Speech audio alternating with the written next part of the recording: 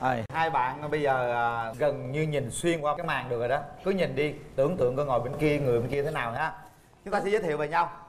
Dạ, à, mình tên là Nguyễn Công Phi, gần tròn 29 tuổi. Thì mình làm nhân viên ở ngân hàng. Nguyễn Công Phi hả? Dạ. Là Phi Công? Rồi em giới thiệu mình Em là Thương, à, em năm nay 25 tuổi. À, Em trên núi xuống chị Dạ, Núi nào? Núi Đắk Lắk anh Núi Đắk Lắk hả? dạ. Thương anh hiện đang làm công việc gì? à, Em là nhân viên văn phòng Và em có kinh doanh online à, một loại khô à, Ăn thì giống như khô bò nhưng mà làm từ thịt heo, gọi là khô heo chị Phải phải thường xuyên mới nghe cô heo đó. nai, cô bò, tối này khô heo Dạ Em có những điểm mạnh, điểm yếu nào? Dạ, điểm mạnh của em thì à, là nhiệt tình, à, vui vẻ Và cái khuyết điểm như là không có yêu thích nấu ăn lắm Ủa vậy cái heo này là ai làm? Dạ, cái này thì à, người nhà làm chị À, em chỉ bán thôi, Dạ đúng người rồi, nhà em em làm. chịu trách nhiệm bán. Bạn trai? Dạ, em thì à, làm việc hơi cảm tính, rồi hơi lười một chút. Lười tắm. Không? Dạ không, một ngày em tắm có một lần thôi. Bên kia là không thích nấu ăn Bên đây lười nữa, hai người chắc về ăn cơm tiệm suốt ha. Anh cần tìm một à, đối tượng như thế nào? Em tìm một người à, phụ nữ của gia đình. Người phụ nữ nào cũng của gia đình hết á? Dạ. Không có người phụ nữ nào của người ta hết trơn. Dạ, tức là một người phụ nữ biết nấu ăn. Bên Xong kia không Xong thích nấu ăn Với lại à, không quá đam mê sự nghiệp mà bỏ bê gia đình. Để mình em đam mê thôi hả? Rồi gì nữa? Dạ nhiều lắm nhưng mà người ta nói là cầu bất đắc ế á. Nếu mà cầu nhiều quá không được thì Ngoại hình sao? Ngoại hình đó Có làn da đẹp. Làn da con gái. Da nào cũng đẹp hết bạn. Đẹp cụ thể là như thế nào? Dẹp giống cỡ ờ, cháu nhà em là được rồi. Trời ơi, Cháu nhà em? Sao đâu ai biết cháu nhà em sao đâu. Phải biết tưởng tượng cho nó dễ á. Dạ thì à, giống chị Cát Tường cũng được Nhưng mà cháu nhà em nó có thơm mùi sữa nữa Ủa em nói chị cái tường không thơm mùi sữa hả?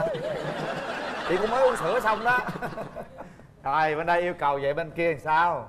tại sao đến giờ này em chưa có bạn trai hả? Dạ em có rồi chị mà em chờ 25 năm nay em mới lên gặp Dạ Rồi xác định bạn trai luôn khỏi đi tìm luôn Từ đó giờ chưa có mối tình nào chưa? hết luôn hả? À dạ có một lần rồi chị Được 3 năm và chia tay cũng 3 năm rồi Lý do tại sao chia tay? Tại vì lúc đó em chưa có đọc sách của John Gray nên em chưa có hiểu lắm về tâm lý khác nhau giữa nam và nữ Bây giờ hiểu chưa? Dạ giờ cảm giác là mình hiểu hơn rồi Giờ nam và nữ khác nhau gì? dạ, Khi người ta căng thẳng thì cách người ta xử lý khác mình Và mình phải thông cảm cho cái điều đó Khác là sao? Ví dụ như căng thẳng thì nam Có sẽ thể làm gì? là nam sẽ ờ, cần một khoảng không gian riêng Không phải như phụ nữ là cần phải được chia sẻ Ồ. Dạ. Có nghĩa là giờ là nếu mà mình thấy bạn nam mình mà căng thẳng thì mình nên bỏ đi để À, cho bạn mình, đó dạ mình có thể là hỏi thăm là anh có cần ờ, nói chuyện không? Nếu anh trả lời ngắn gọn hoặc vắn tắt là anh đang cần không gian riêng thì mình có thể là nói là lúc nào anh suy nghĩ xong anh thể quay lại nói chuyện với em. Có vẻ là nãy giờ em là toàn là trên sách vở không á nha Mà trên thực tế sách vở nó khác nhau xà lắm Con người nó phức tạp lắm Không có giống nhau đâu. Có vẻ bạn bên kia hơi khó thành ra hơi ế lâu. Còn bạn Lý do tại sao em ế? Nguyên nhân thứ nhất là do môi trường công việc với tính chất công việc của em. Môi trường của em quá nhiều cô gái xinh đẹp. Nhiều người đẹp, nhiều người rất là giỏi. Nhưng mà vì đẹp quá mình nhìn riết cái mình cũng chán. Trời đất ơi Lạ vậy. Bạn trai bên kia đã chuẩn bị gì cho kết hôn chưa? à, Dạ chưa chị ạ. Tìm hiểu rồi chuẩn bị luôn. Trời đất. Thật ra nếu mà bạn nữ đó chịu đứng sau lưng hỗ trợ Hoặc là động viên em thì em nghĩ là không có gì là không thể làm được Thí dụ ta đứng phía trước được không? Dạ thường người ta nói có câu là sau lưng người đàn ông thành công là có bàn tay người phụ nữ chứ Nhiều khi ta đứng trước ta che chở cho bạn được không? À cái đó cũng được Cũng được đúng không? Giờ em muốn mẫu người đàn ông lý tưởng em là người như thế nào? chị ờ, có một cái màn em rất là thích ở đây đó là thích đất đó chị chị ờ, nhờ bạn thích đất thì em thử là đó Là quan trọng sức khỏe phải thể dục hay không Nó đi tìm chồng mà thư- thư khóa hết đất là sao? Bạn nữ yêu cầu vậy đó sợ tướng thư sinh vậy rồi hít đất nổi không trời.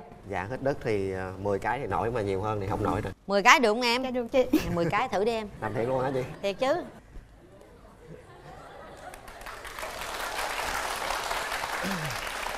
Một hai sao nó run rẩy vậy? Ba bốn năm đừng ập mặt nó nha. Sáu bảy trời ơi quá rồi đó. Tám chín. Mười. Trời ơi. Khổ quá. rồi. tỉa tay hết tỉa tay hết. Trời ơi rung chân rồi. Nha điệu này mệt rồi nha. Mặt ở trong cái này không phải lỗi chị nha. Đó là cô bên kia cô hành hạ em chứ chị không có ý định đó nha. Mà chết rồi mồ hôi kê đổ hết trơn rồi bây giờ ờ, ủa mà nó nghe nè rồi bây giờ mình chưa chuẩn bị gì hết. Rồi rủ mình gặp bạn gái mà ưng bụng quá rồi muốn cưới liền rồi làm sao mà mình cưới? Thực ra cũng có nhà, có xe rồi, chỉ cho lấy vợ về. Đó thì nãy giờ là nghe câu đó đó giấu giếm hoài. vậy khỏe rồi, mà mai yên tâm đi. Bên đây là ngon rồi chắc chắn luôn đẹp trai đó. sinh Thích đất được 10 cái. Mặt đỏ tía tai nhưng mà vẫn nói chuyện được. Cô gái Chào Chào anh. em. Dạ. lý do tại sao ta kiếm chồng ta kiếm cái nghề tự nhiên kêu thích đất trước là sao? Dạ em thích là bạn phải thể dục thể thao cho nó khỏe anh. Thí dụ như người ta làm ngân hàng suốt ngày ta đếm tiền không à ta ngồi ta đếm tiền ta tư duy bằng đầu óc ta đâu cần hết đất đâu. Dạ nếu bạn muốn thì bạn vẫn có chút thời gian để cho thể dục thể thao anh. à dạ.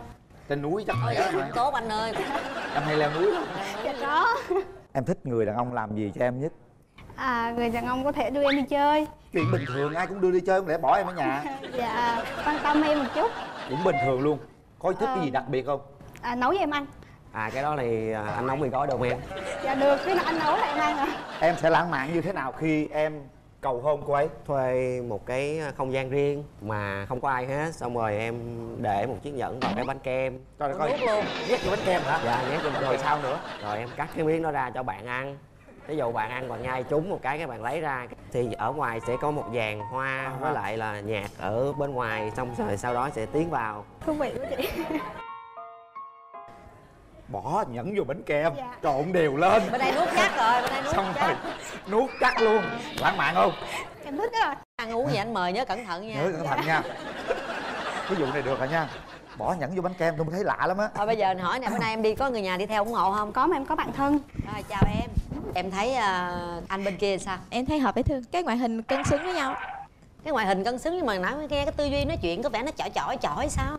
Những cái gì mà nó phải lệch lệch vậy nó mới hợp á chị. Em nghĩ vậy Chị cũng hy vọng vậy. Người ta khác nhau để thương nhau nhiều hơn đúng không? Dạ dạ. Kiểu vậy á anh. À, Cảm ơn em. Vậy bạn à, bạn trai có đi với ai không? Dạ à, em có đi với lại à, dì em với lại anh của em với lại bạn của em. Gì đâu? Dạ, em ờ, chào anh Quyền Linh với chị Cát Tường.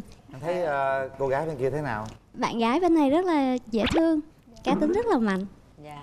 Thế có vẻ có, có hợp với cháu không gì Em nghĩ là khi mà hai cái tính cách khác nhau nhưng mà không khác quá nhiều thì có thể thu hút nhau ai cũng nói hợp rồi đó.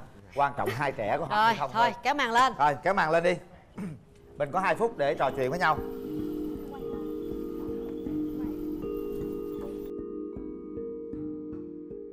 Bạn, mình cũng có món quà tặng bạn. Khô heo khô heo. Khô khô heo á. Mỗi khi mà bạn đi làm về trễ mà nhà hết cơm hay gì đó bạn có thể ăn. ngon mà. Dạ. cậu anh á thì nuôi dê thì anh đang nghĩ đến cái việc không biết có nên làm khô dê giống như em. À, được rồi nha cái vụ này cũng được Em sẽ à hỗ trợ anh thêm. khô dê cũng lạ lắm á. Lạ lạ. Vợ làm khô heo chồng làm khô dê. Được. Thật ra anh cũng không có tin vào tình yêu xét đánh giống như là những người khác nhưng mà anh nghĩ là trong 3 giây đầu tiên thì em hoặc là anh sẽ có ấn tượng với nhau đúng không? Dạ. thì không biết là em có ấn tượng như thế nào với anh nhỉ? À, gặp nhìn anh thì à, thấy hơn sự tưởng tượng của em.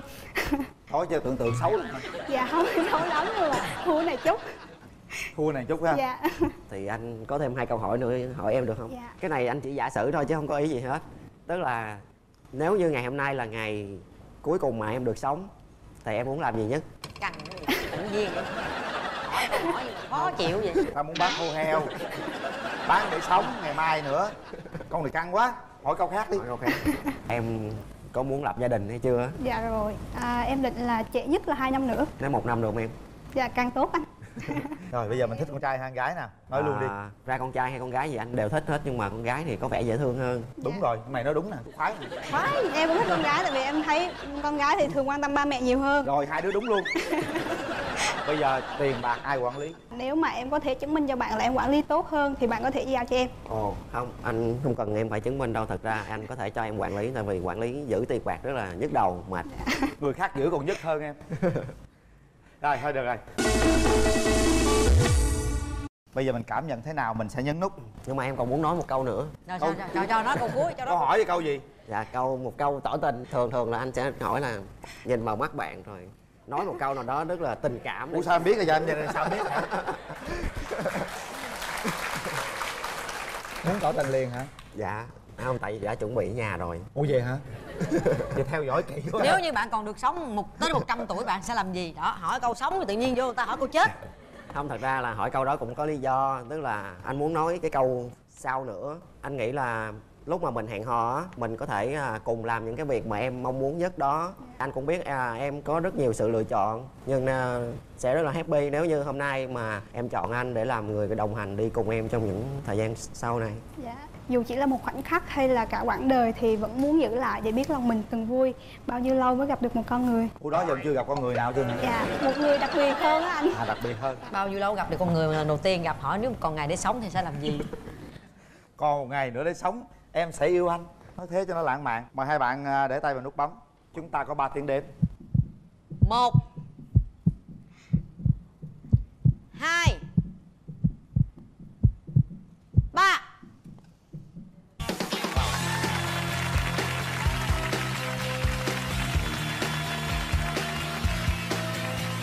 hai bạn sẽ có một cuộc sống à, hạnh phúc. Và chúc hai bạn sẽ có một cái à, sự phát triển về kinh tế Khô heo và khô dê. Hai bạn phải làm đám cưới chung thì mới tặng cái này. Đúng nha. rồi. Rồi, chúc hai bạn à, sẽ có thời gian tìm hiểu à, thật kỹ nha. Càng sớm càng tốt. Ba mẹ hai bên đang chờ. Có được không một cái không ta? Có chứ trời ơi ông này ông theo dõi chương trình kỹ lắm. Ông tức tại sao mà ông cho tao nói câu tỏ tình? Bây giờ ông cho người ta hôn. Đó anh linh làm sao kỳ cục quá linh. Thôi để dành đi. Vô đó muốn hôn gì hôn